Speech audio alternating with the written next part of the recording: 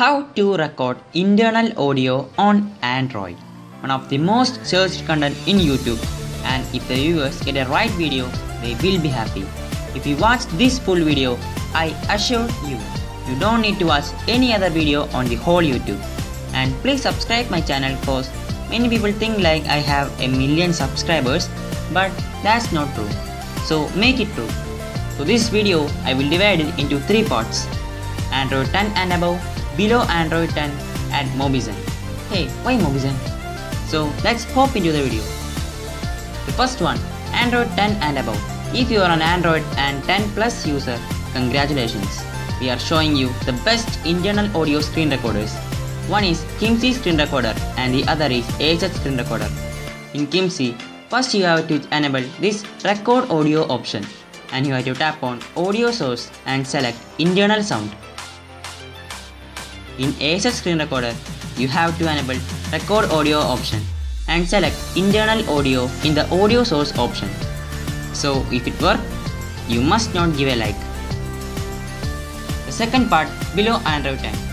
I know I was waiting for this part because most users around the globe use Android below 10. But there is a good news and a bad news for you. The good news is you will be able to record internal audio and the bad news you can't chat with your players in a game. So why is it? For these users, your Android should be a minimum Android 5 or 6 and up to Android 10 which is Android 9. You have to download Kimcy screen recorder which I mentioned earlier. There is a method to record internal audio. For this, you should have an earphone with the mic and your phone. After connecting your earphone, you have to open Kimcy screen recorder. Make sure the record audio option is on. Then you have to press and hold the mic of the earphone. You can also use a tape or a clamp to press it. This will trigger the Google Assistant. Just dismiss it. Then you can start your recording. Make sure you don't release your hand from the earphone. So I am playing a game here. That's it. So will record the internal audio? Watch. Thank you.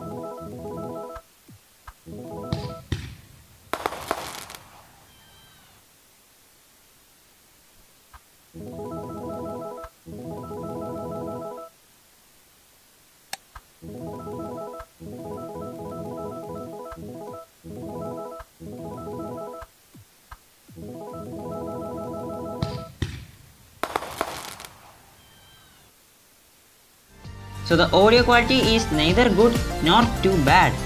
The gameplay is good, but you may not be able to speak with other players as your mic is pressed the whole time. And that's our conclusion. So that is the only way to record internal audio. If you are one of these users, comment your experience below. The last one, Mobizen. Well, there is nothing much to say about it, but you can watch our video and understand why Mobizen doesn't support on all devices. Link in description, so go and take a look. And that's it guys, we'll see you in another video. Take care, stay safe. So, bye.